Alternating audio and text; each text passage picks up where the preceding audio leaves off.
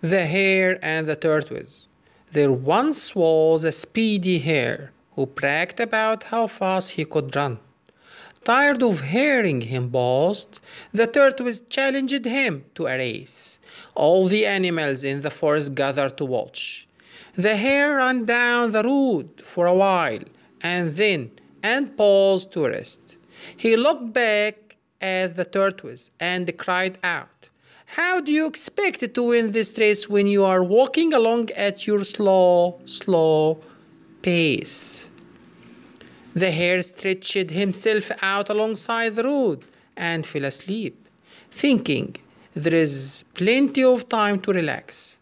The tortoise walked and walked, never ever stopping until he came to the finish line.